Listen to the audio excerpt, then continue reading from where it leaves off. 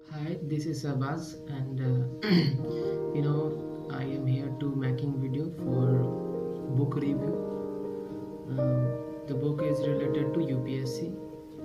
You know जो जो UPSC में लोग बुक प्रेफर करते हैं लाइक जो टॉपर्स कहते हैं एंड जो इंस्टीट्यूट वाले uh, आपको पढ़ने के लिए कहते हैं उस बुक का मैं रिव्यू देने वाला हूँ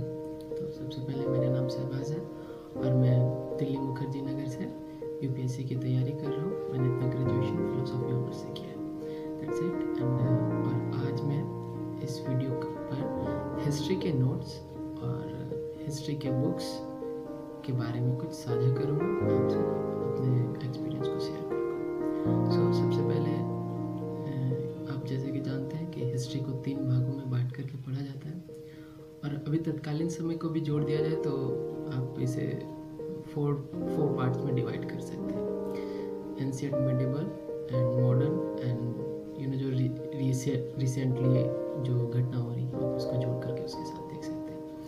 तो मैं दिखाना चाहूँगा एक एक करके आपको अ, मेरी बुक मेरे पास जो बुक्स हैं और जो मैंने जिससे मैंने अपनी तैयारी को प्रारंभ किया है उस उस बुक्स के बारे में मैं आपको दिखाना चाहूँगा।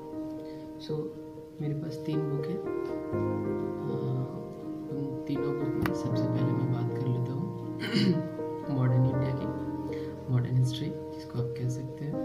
तो मॉडर्न हिस्ट्री में बेसिकली लोग बिपिन चंद्र की पुस्तक को प्रेफर करते हैं। लेकिन जिनका ऑनर्स रहता है आई मीन जिसका ऑप्शनल पेपर हिस्ट्री रखते हैं वो बिपिन चंद्र के साथ स्पेक्ट्रम का भी लेकर के इक्वली पढ़ाई करते हैं। एक्चुअली मोस्टली ज़्यादातर लोग बिपिन चंद्रा के अलावा भी स्पेक्ट्रम पढ़ाई करते हैं, क्योंकि उसमें बंच ऑफ़ फैक्ट होता है।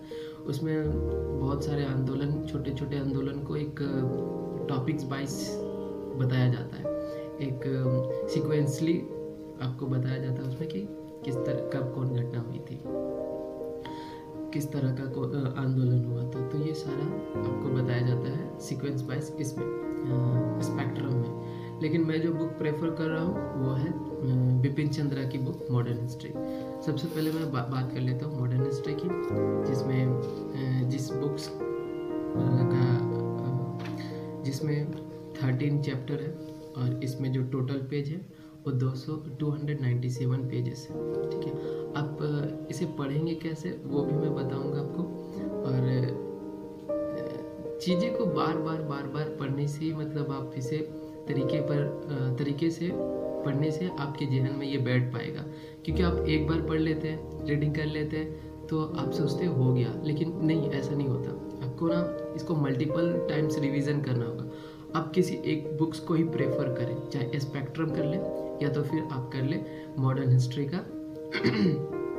बिपिन चंद्रा की बुक इन दोनों में से कोई एक आप चूज़ स्टार्ट करें। और उसमें से आप पहले खुद से पढ़ें कि इन दोनों में मेरे लिए रिलेवेंट क्या है। मैं आपको ये नहीं एडवाइस दूँगा कि आप इसी बुक्स को लें या फिर स्पेक्ट्रम को ही लें। मैं आपको ये कहूँगा कि आप दोनों बुक को पहले सामने रखें, अपने फ्रेंड से ले लें और लेने के बाद उस बुक्स दोनों बुक्स में आप थोड़ा एक बार तो रिसर्च करना ही पड़ेगा खुद से आपको।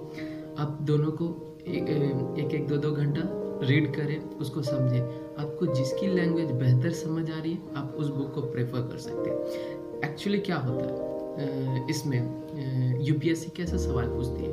आपको कहीं से भी पॉइंट टू पॉइंट उठा हुआ नहीं मिलेगा यूपीएससी का क्वेश्चन बेसिक आपका समझ के अनुसार आपको गैस करना पड़ेगा क्वेश्चन को कि हाँ ये ये सही हो सकता है ये गलत हो सकता है ये सही हो सकता है ये गलत हो सकता है। तो आप उसी अन, अपने अनुसार क्वेश्चन को क्वेश्चन का आंसर निकाल पाएँगे।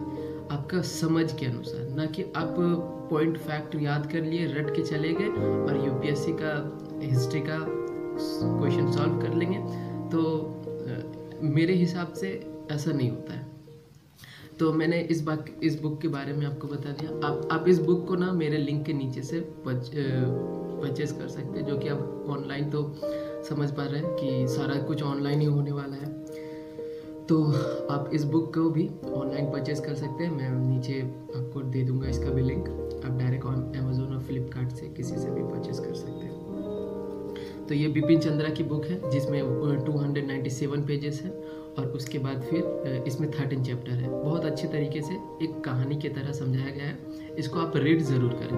आप तैयारी कर रहे हैं या नहीं भी कर रहे हैं, लेकिन इसको रीड करने से आपकी एक समझ विकसित होगा। और मैं एक चीज़ बताऊँगा, बोलना चाहूँगा कि हिस्ट्री गलत या सही नहीं होता। क्योंकि कुछ समय पहले मेरे फ्रेंड ने पूछा कि इसने ऐसा कहा, इसने ऐसा कहा, इसने ये बताया, उसने ये बताया। तो जो सबसे पहले डिपेंड करता है कि राइटर कैसा है, राइटर का विचारधारा कैसा है। ये सारा कुछ डिपेंड करता है राइटर के विचारधारा पे। अगर कोई कोई राइटर समाजवादी है तो वो समाजवादी नज़रिए के अनुसार किसी बुक्स को लिखता है। ओके? और अगर कोई रूढ़ीवादी है या फिर कोई उदारवादी है तो वो उस तरह के उस नज़रिए से बुक्स को लिखता है। तो मेरा कहने का मतलब ये है इस, इसके रिलेटेड में इसके संबंध में कि हिस्ट्री गलत नहीं होती। है हिस्ट्री को जो लिखा जाता है, जो विचारधारा होती है, उस अपनी विचारधारा को वो प्रकट करता है। समझ पा रहे हैं आप मेरे बात को? तो हाँ तो वो अपने समझ को इस बुक्स के अनुसार, इस बुक्स में लिखता है। समझ गए? ओके सो ओके सो जो हिस्ट्री होती है, वो विचारधारा पे डिपेंड करती है। तो ये था मॉडर्न हिस्ट्री के बारे में कुछ, और अब मैं आपको बताऊँगा मीडिएबल हिस्ट्री में। एक्चुअली जो मॉडर्न हिस्ट्री मैंने आपको बताया, अगर आप उसको क्वेश्चन के माध्यम से देखेंगे यूपीएससी कितने क्वेश्चन पूछती है तो उस हिसाब से अगर देखेंगे तो टोटल हिस्ट्री से फिफ्टीन क्वेश्चन आते हैं, जिसमें से मीडिएबल का उतना बड़ा रोल नहीं होता। एक, दो क्वेश्चन दो तीन क्वेश्चन इसे ज़्यादा नहीं आते बाकी आपको मॉडर्न एंड एंशियंट से पूछा जाता है ज़्यादातर, ठीक है? तो आप, एक बार खुद से आप रिसर्च कर लें प्रीवियस ईयर्स का क्वेश्चन देख लें, उसके बाद फिर आप इसको करें। किस तरह से आपको तैयारी करना है? अपनी तरह, तैयारी को उस तरह से समझ कर करें। उसके बाद दूसरा जो मीडिएबल हिस्ट्री है मेरे पास एल पी शर्मा की बुक है, ठीक है? मीडिएबल हिस्ट्री की। आप देख रहे हैं, ये काफ़ी काफ़ी मोटा है और और ये काफ़ी, इसमें लगभग सात सौ पेजेस हैं।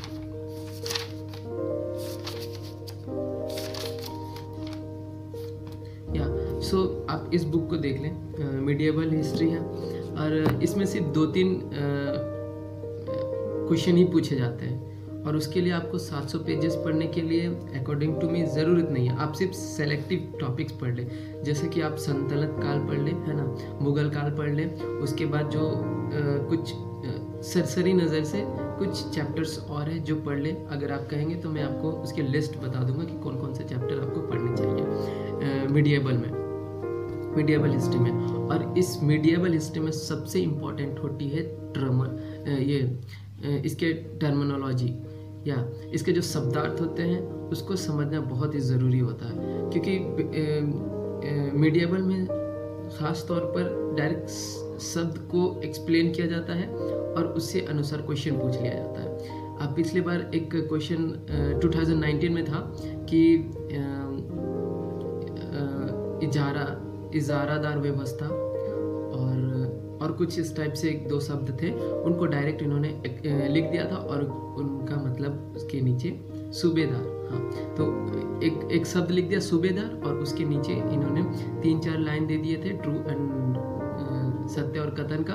उसके बाद उसमें से आपको छाटने के लिए कहा गया था। तो बेसिकली मेरे कहने का मतलब ये है कि इसके टर्मिनोलॉजी पे ज़्यादा ध्यान दें मीडिएबल के। आप अगर इसके लिए भी मैं एक प्रेफर कर सकता हूँ, एक मणिकांत सर है हिस्ट्री के, जो बहुत अच्छे सर है। दिल्ली मुखर्जी के नगर में वो सबसे ज़्यादा फ़ेमस है।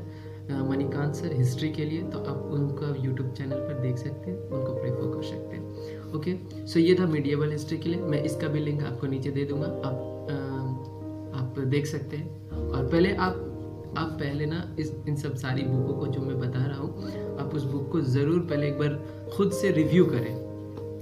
उसके बाद एक प्राचीन काल की, प्राचीन भारत की सॉरी प्राचीन काल जो है, उसके लिए, प्राचीन इतिहास के लिए राम शरण शर्मा की ये सबसे इम्पोर्टेंट बुक है। इसके बड़े बड़े जितने भी दिल्ली मुखर्जी नगर में टीचर्स हैं, वो लगभग इस बुक को एक बार पढ़ने के लिए ज़रूर कहते हैं। क्योंकि इससे, इसमें ज़्यादा फैक्ट नहीं है, लेकिन इसमें समझ आपको बहुत ज़्यादा विकसित होगा। इसका समझ आपका एकदम यूपीएससी लेवल वाला बना देगा।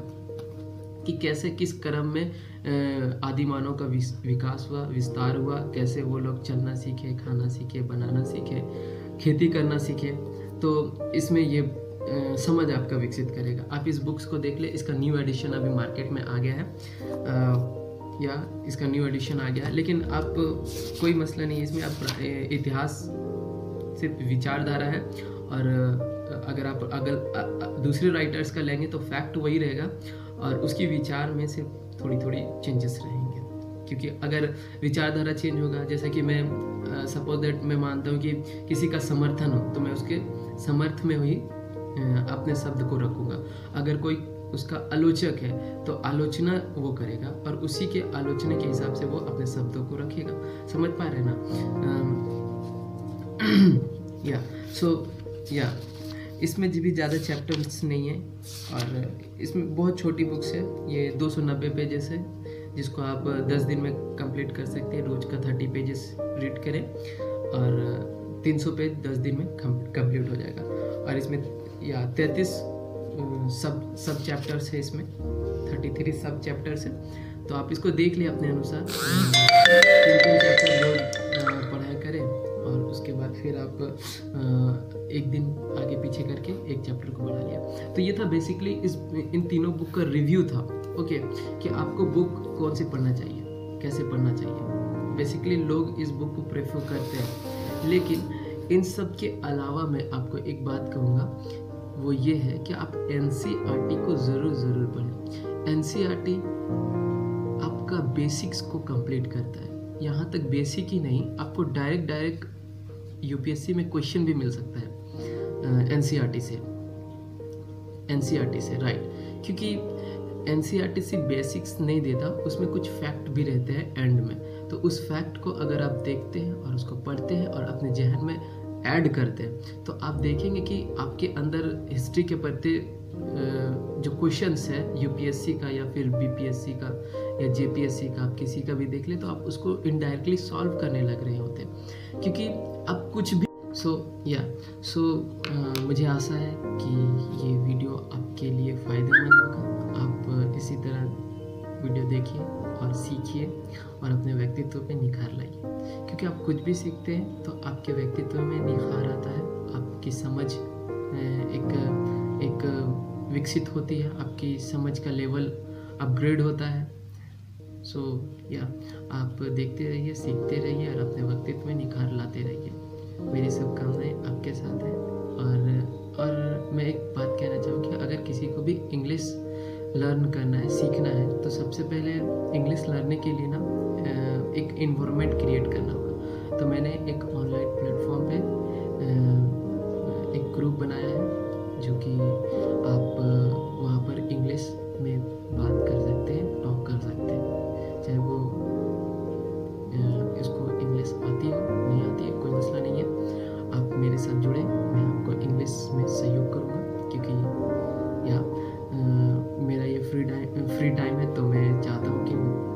जो सीखा है, मैं आप तक ज़रूर ज़रूर पहुँचाऊँ।